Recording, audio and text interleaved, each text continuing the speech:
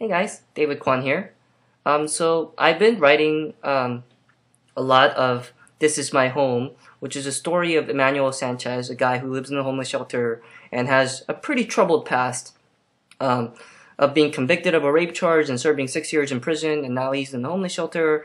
You know, it's this whole interesting story. I don't know if it's interesting, but I, I think it's interesting. Story of this guy who kind of is, you know, is in a situation where most of us would consider like bottom, you know, um, and not many stories are out there about people who are, or fictional stories about people who are in that kind of situation. Is why I decided to do kind of that kind of story. Um, and then as I was writing it, I got kind of a writer's block at part four. Like it's like I started having this idea. It was like, oh yeah, I want to have this plot develop where um, Don, the best friend of Emmanuel Sanchez, gets in trouble um, and pisses off a gang member in the shelter.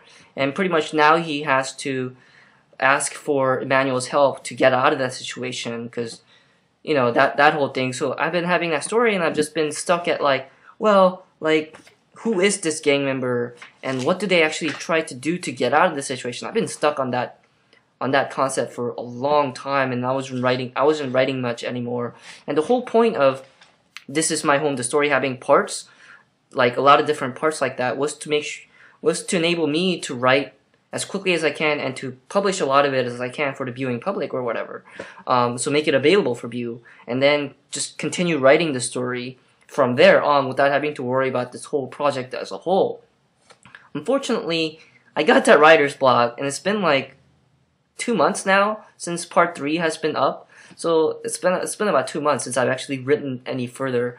I've gotten a lot. Uh, I made a lot of strides in part four so far, but recently actually. But before I made that stride, I was kind of stumbling, and I came up with another story idea. Um, and this story, like This Is My Home, the title of it is another sentence. A girl rescues a prince. Uh, the girl rescues a prince. Um, and it's kind of a parody of a regular fairy tale story, like a Disney fairy tale story um, that so many.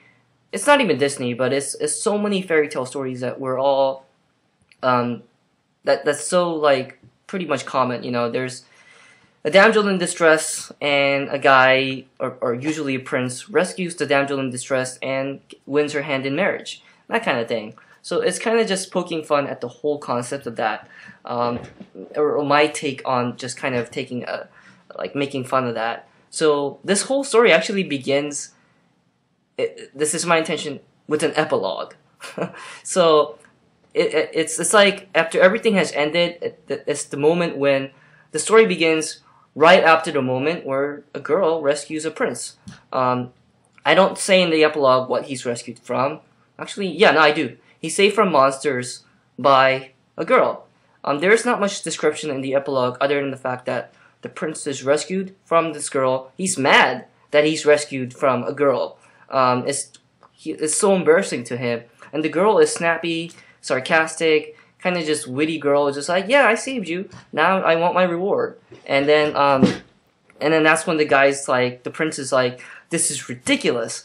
You ask a reward, what? You want my, you want to become a prince? You want to become my princess? And the girl, this is where I kind of poke fun. And so it's just like, don't be silly. Like, this isn't a, a chauvinistic fairy tale where a hero wins, you know, a prince rescues a damsel and wins her hand in marriage. No, I just want a diamond. and a simple diamond will do for this girl, or something like that. Um, so that's the kind of the beginning of the story, and then um, and then I'm gonna have each parts kind of just go back into how this girl rescued this prince from monsters or whatever the case may be. Um, it's gonna be quite I don't know. It's just gonna be a little bizarre fairy tale story that I'm thinking of just going to do, and it's gonna be kind of I don't know. I have my idea is that this girl was just just a regular like a girl in this chauvinistic fairy tale society uh, or sexist society.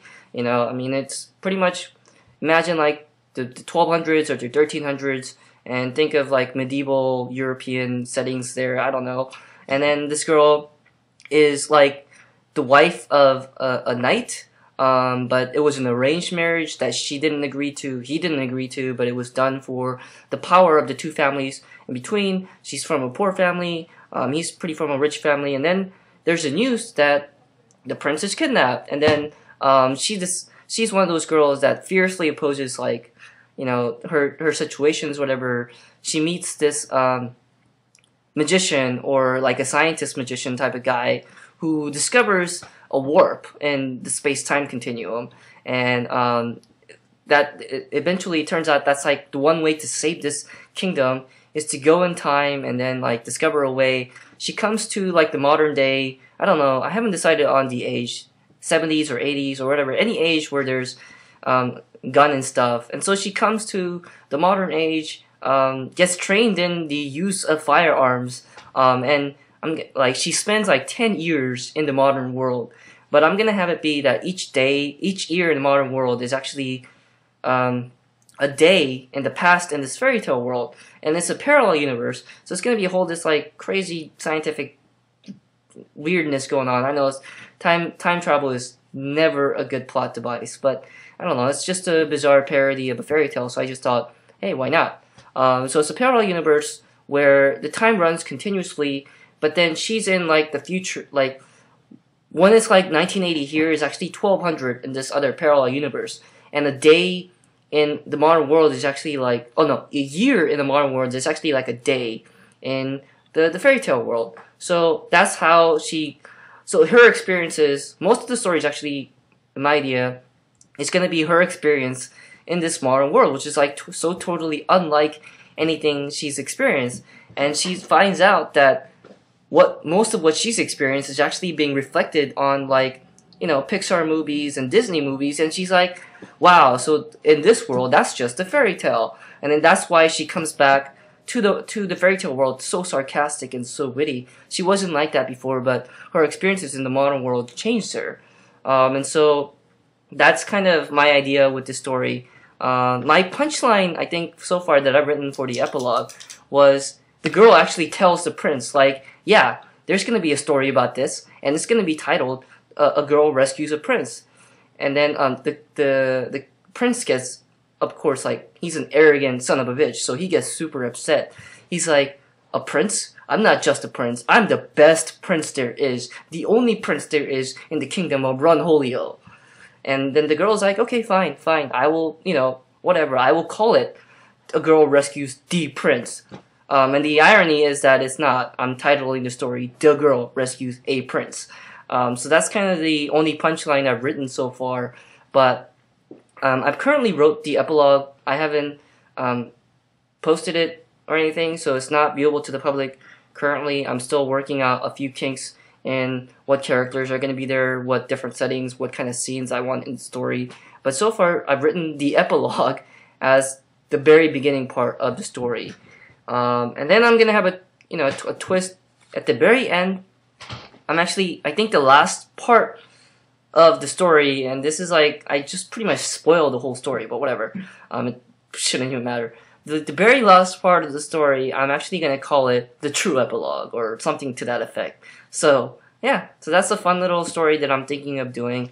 Um, hopefully, I'm not a very good funny writer. Um, I've I've noticed that most of the stories or anything I've ever written have always been so serious and so like you know um, a dramatic tone. But this time I'm kind of wanting to do a little lighter.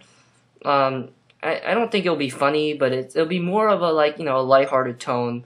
Um, hopefully, try to put in as much funny in there as possible. Although I'm not a very good comedy writer, and once that goes viewable to the public, you'll probably notice that it's not going to be very funny. But I just like the concept of switching this role where you know we're so used to seeing this like a, a frail damsel being rescued by the prince and then them getting married. You know, um, I just want to kind of poke fun at that I the whole concept altogether, and that's the idea behind the story.